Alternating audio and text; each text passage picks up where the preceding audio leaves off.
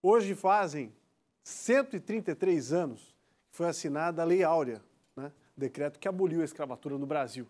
A gente aproveita a data histórica para falar um pouco mais sobre um projeto desenvolvido na capital para preservar a história de personalidades negras que contribuíram para o desenvolvimento do nosso estado. Vamos acompanhar?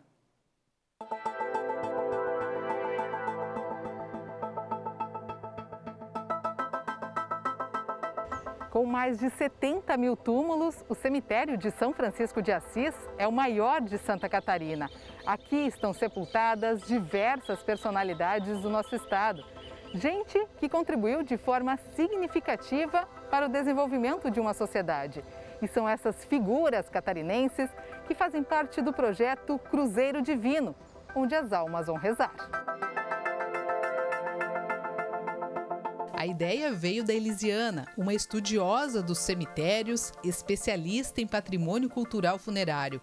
O objetivo do projeto é fazer uma espécie de inventário, onde os negros serão o foco dos estudos. Eu já tinha identificado alguns nomes de pessoas que me chamavam a atenção por sua história, uma história ainda não contada, e quando eu encontrei o Fábio Garcia, que também trabalha um pouco com essas memórias da comunidade negra aqui em Florianópolis, algo que já me interessava há muitos anos, nós fizemos uma pesquisa, então, primeiramente em, em, em teses, em, em, livros, parte bibliográfica. Cerca de 20 nomes já foram mapeados. Um trabalho de pesquisa que está contando com a ajuda do Fábio, um historiador e conhecedor da cultura negra.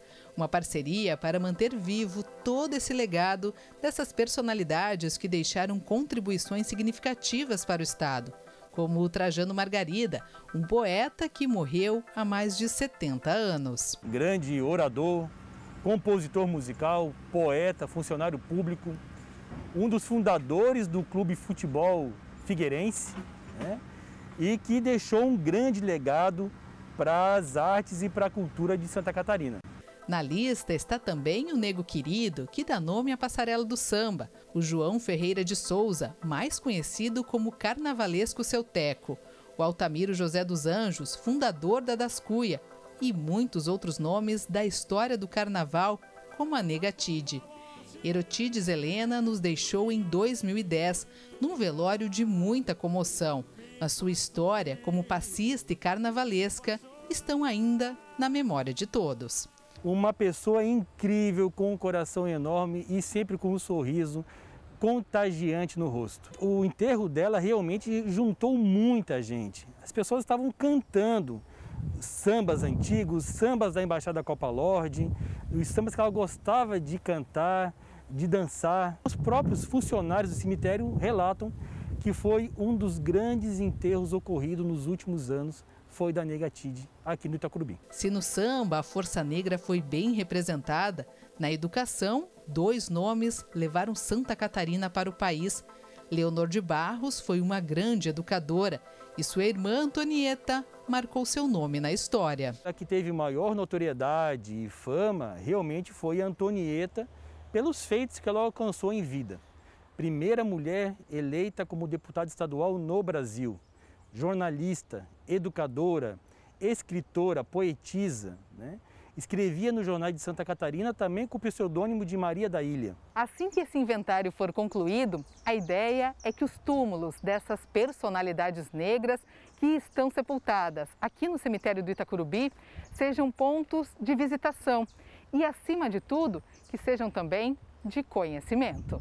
Eu costumo falar para o pessoal do cemitério ali com quem a gente conversa muito sobre o projeto e com, com o Fábio e outras pessoas, que nós, nós vamos tentar exumar do esquecimento essas histórias, né? Um termo bem funerário porque são pessoas que muitas vezes é, se conta, mas se conta muito pouco delas, trazer a biografia, né? fazer uma pesquisa biográfica para contar um pouco mais da vida de cada um deles. Um inventário feito de muita pesquisa, mas que quer dar voz à comunidade, para que todos os homens e mulheres negros enterrados no cemitério do bairro Itacurubi possam ter seus túmulos identificados e sua história contada para as atuais e futuras gerações a cidade precisa se reencontrar com a sua memória.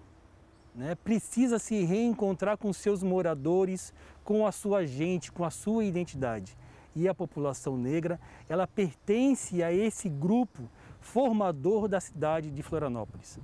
Quando a gente adentra o cemitério como um espaço sagrado, mas também como um espaço de memória, e daqui retiramos memórias, histórias de pessoas né, que legaram um grande, é, deixaram um grande legado realmente em vida. E ainda hoje a gente relembra esses feitos, é porque essas memórias não morreram, não se apagaram.